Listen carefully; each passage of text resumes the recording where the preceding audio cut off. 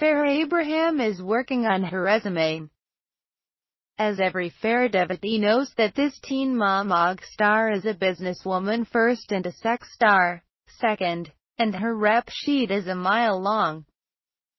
Let's see. She's a chef, a pasta sauce producer, a best-selling children's book author, a singer, an actress, a sex toy salesman, an erotic novelist, a peddler of DNA, and now, maybe, a beauty expert.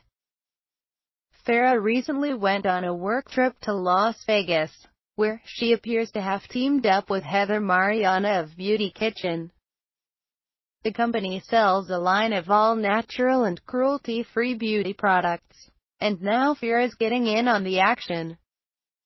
I'm up to something with a Beauty Kitchen him at Heather Marianna hashtag boss bitches cheers.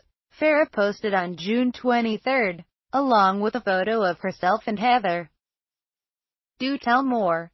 Farrah.